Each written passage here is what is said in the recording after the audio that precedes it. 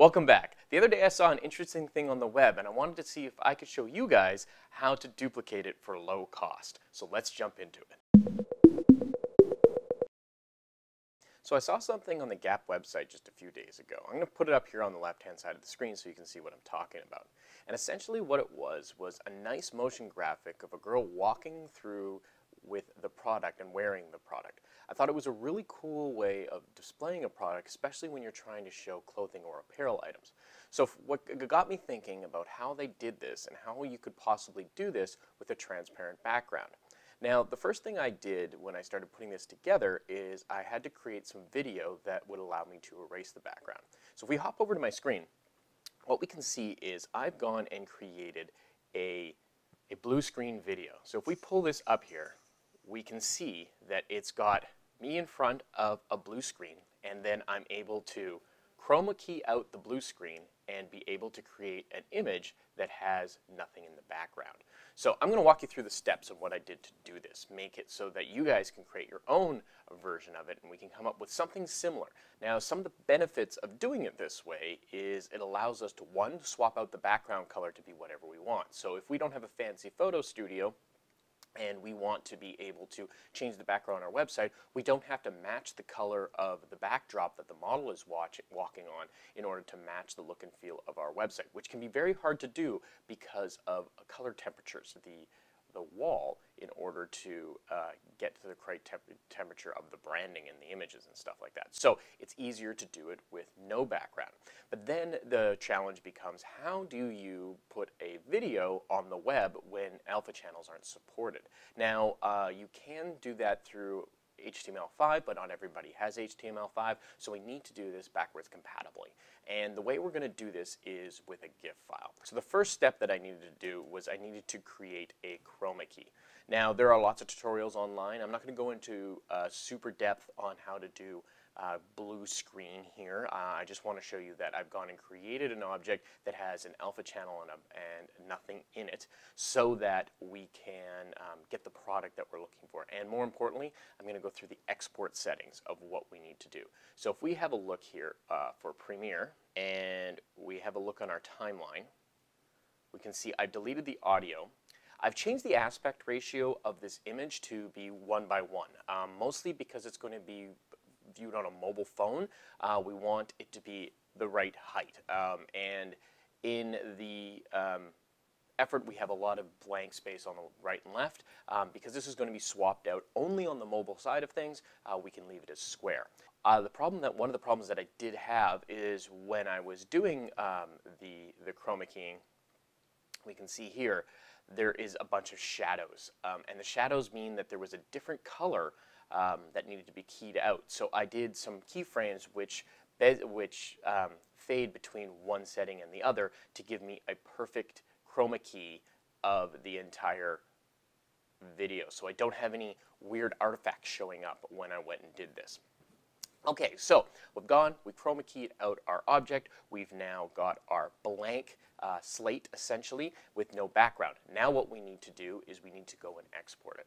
So I went to export media, and these are the settings that I use. So the first thing I wanted to do is I wanted to choose QuickTime because QuickTime allows you to export a video with an alpha channel.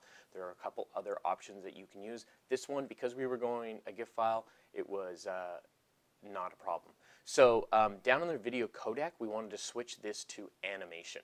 Uh, switching this to animation allows you to have the option down below of the 8BPC plus alpha. This is important. You need to be able to export an alpha channel with what you are doing.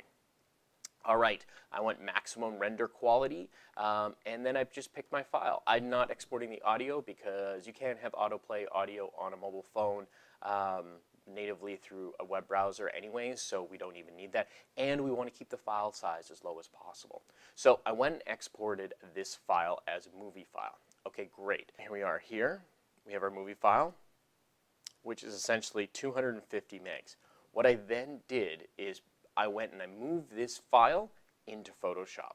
So if we go into Photoshop, we open up the file. So I went into my folder, grab the file, and open it up. Now it's going to take a few minutes to load because it's about 500 megs. We then have the image in here, and now we can see as we scrub through, it has a transparent background and looks beautiful. Now, one of the things we're going to need to do is we're going to need to resize this. Because it's exported at 1080p, it's too large. So we want to go to image, and we want to go to image size. Now what we're going to do is we're going to change this to a more reasonable size. So we're going to change this to 380 pixels by 380 pixels. We're going to hit OK, and it's going to go and convert the layer to a smart layer and resize our image. Now what we can do is we can go and we can go and export this as a GIF. So if we go uh, Command Option Shift S on the keyboard, we get Save for Web. Uh, it's important to use the Save for Web because we want to preserve all the transparency and all of the settings, and this dialog box allows us to do that. So first thing we want to do is we want to select a, a GIF file. Um, we want to select our color palette. Uh, now we want to use adaptive because the color palette is potentially changing as you walk through the scene. So you want to be able to adaptively change the uh, colors that are available. Then what you want to do is you want to make sure uh, transparency is selected and then you can go and hit save. Now once you save this file, um, it's going to generate you out your GIF file. So if we go in here to our Final Cut GIF file, we can see it's 2.8 megs. Now, 2.8 megs is a little large for a, um, a GIF file, but in the scheme of the objects that are downloading on the internet nowadays, it's not too bad. So what we're going to do is we're now going to go into our website. Okay, now once we're in our website, what we're going to want to do is we're going to want to go to products, and we're going to upload that GIF file that we have. So if we click on products, and we go to the product that we've created. Now I've already gone and done this so that you can see the little animation is showing up in here. Um, but we're going to go in and we're going to upload the image. So we're going to upload the image. It gives us a nice clean view of how things are going to look. And then once we save that, we can go and view it. Now what I'm going to show you here is when you come to the page, you get this nice movement, you get a clean background, and when you resize it and you come down to the mobile side of things, there's no play buttons, there's no status bars, it's just a clean image that you can have putting on here. Now you can have all sorts of different things. You can have it rotating if you don't want to have a model. You can have a zoom effect where you're using it with your camera. You can set up boomerangs because boomerangs would work good on a product page. It gives a little bit of movement and catches the eye on a mobile device.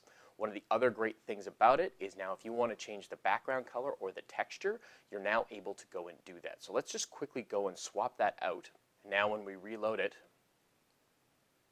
and we have our color, we can see a little bit of artifacting in here, and if that's the case, what we would want to do is we want to go back in and keyframe that out a little bit, maybe put a mask around it. But for the purpose of the demo, works just fine. So that's pretty much it. Thanks for coming by. I hope this was helpful. If it was, hit the like button. Hit the subscribe button if you want to get notified every time I upload a new video. New videos come out every Thursday, and I hope you guys are having a wonderful day.